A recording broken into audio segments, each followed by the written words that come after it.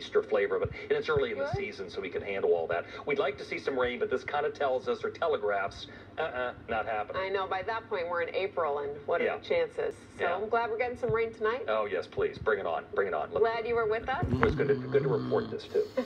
and glad you were with us tonight. Thank you for joining us here during KRON Pro News and Crime. Sports Night Live is next. Don't go anywhere.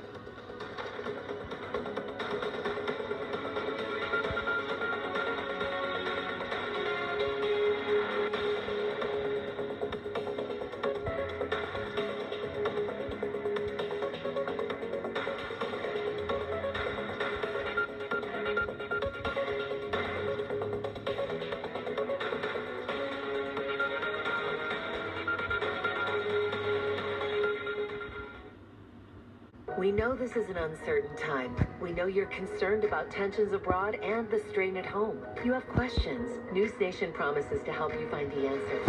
Wake up with Morning in America. It is nice to have something uplifting to share with you today, especially in light of all of the news going on. The team you can trust to keep you informed and engaged. Our Robert Sherman is live in Ukraine this morning with the very latest for us. Everything you need to know to start your day a little brighter. Morning in America, weekday mornings at 7, 6 Central on News Nation.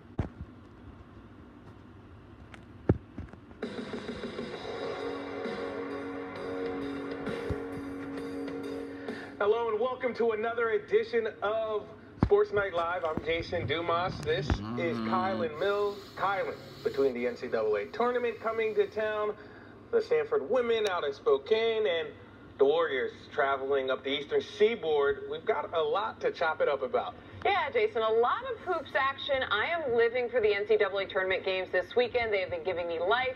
So much excitement. I was cheering on the St. Peter's Peacocks. I don't know about you. I I was was really too. hoping to see history made and them go to the Final Four.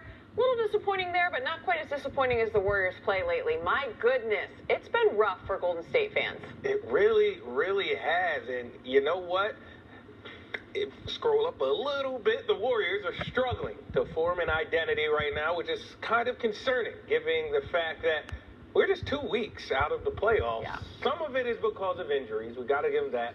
Clay comes back, Draymond gets hurt. Draymond comes back, Steph gets hurt. There's just no continuity, but there also has to be some accountability over on Warriors Way, where they're headquartered, because Steph isn't going to fix everything. He just won't. There's too many holes right now. The Dubs were in our nation's capital today, taking on the Wizards, and they've already lost to the Magic.